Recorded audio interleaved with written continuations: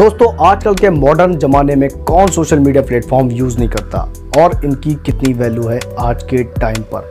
अगर कभी दोस्तों आपने सोचा है कि ये सोशल मीडिया प्लेटफॉर्म्स बंद हो जाएँ तो क्या होगा?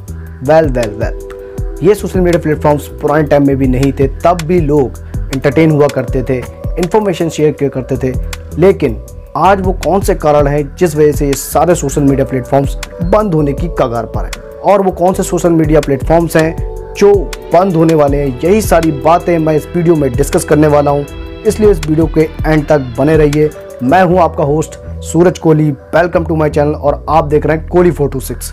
चलिए दोस्तों, वीडियो को शुरू करते हैं। सबसे पहले जानते हैं भारत में किसके कितने यूज़र्स हैं। भारत में यूट्यूब के 44.8 करोड़ व्हाट्सएप के 53 करोड़ फेसबुक के 41 करोड़ इंस्टाग्राम के 21 करोड़, वही ट्विटर के 1.75 करोड़ एंड कू ऐप के 65 लाख यूज़र्स हैं। दोस्तों, बता दें, फरवरी 2021 में इलेक्ट्रॉनिक्स और सूचना प्रौद्योगिकी मंत्रालय ने नए आईटी नियमों का पालन करने के लिए सोशल मीडिया प्लेटफॉर्म को तीन महीने का समय दिया था, जो आज खत्म हो रहा है। अब जानते हैं वो कौन से नियम थे जो सारे सोशल मीडिया प्लेटफॉर्म को फॉलो करने थे।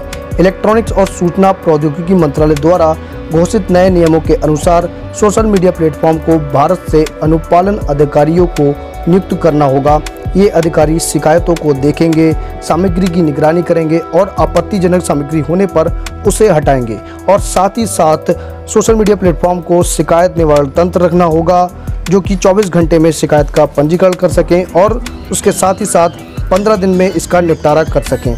ऐसे नियम सिर्फ़ सोशल मीडिया प्लेटफॉर्म पर ही नहीं, बल्कि ओ टी प्लेटफॉर्म पर भी लागू होने वाले हैं। अब जानते हैं दोस्तों कि वो कौन से सोशल मीडिया प्लेटफॉर्म है, जिन्होंने अभी तक दिशा निर्देशों का पालन नहीं किया है। Facebook WhatsApp Instagram and Twitter ने अभी तक नए नियमों का पालन नहीं किया है। ट्विटर का भारतीय संस्करण कू एकमात्र सोशल मीडिया ऐप है, जिसने 25 मई की समय सीमा से पहले नए दिशा निर्देशों का अनुपालन किया है। तो ऐसे में सवाल उठता है कि क्या ये सभी सोशल मीडिया प्लेटफॉर्म कल यानी 27 मई से बंद हो जाएँगे या नहीं? आपने कभी सोचा है कि ये कंडीशन क्यों आई है? इन सभी सोशल मीडिया प्लेटफॉर्म का बैंड होने का कारण हम खुद भी हैं, क्योंकि कोई भी फेक न्यूज़ या फेक इन्फॉर्मेशन आती है तो उसको बिना जाने, बिना सोचे समझे हम एक दूसरे को शेयर करते हैं और इसका नुकसान हम सभी को उठाना पड़ता है। इसलिए भारत ने एक कदम उठाया इन सोशल मीडिया प्लेटफॉर्म को लेकर। ताकि इन सभी गतिविधियों पर रिस्ट्रिक्शन लगाया जा सके और इन सभी चीज़ों को ख़त्म किया जा सके। लेकिन लेकिन, एक अपडेटेड न्यूज़ में फेसबुक की तरफ़ से एक बयान आया है कि वो सरकार की नई गाइडलाइन का पूरा तरह पालन करेंगे।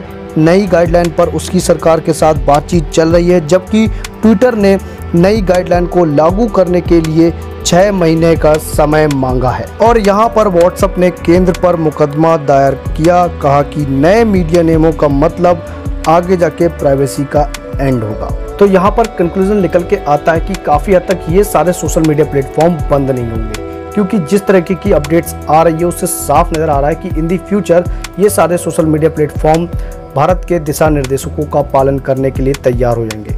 लेकिन उसमें कुछ वक्त लगेगा, क्योंकि तीन महीने का वक्त काफ़ी नहीं था सारे दिशा निर्देशकों को लागू करने के लिए। लेकिन व्हाट्सएप का कुछ कह नहीं सकते क्योंकि व्हाट्सएप ने अभी कोई कदम नहीं उठाया है भारत के दिशा निर्देशकों को लेकर। दोस्तों, फ़िक्र करने की कोई ज़रूरत नहीं है, आपके पसंदीदा सोशल मीडिया प्लेटफॉर्म कहीं नहीं जा रहे, यहीं रहेंगे और इस खबर को तेज़ी से लोगों तक पहुँचा दीजिए। तो दोस्तों, आपकी क्या राय है इन सारे दिशा निर्देशों को लेकर? मुझे कमेंट सेक्शन में ज़रूर बताएँ और ये भी बताएँ कि अगर ये सारे सोशल मीडिया प्लेटफॉर्म अगर बंद हो गए तो आपको कैसा फील होगा?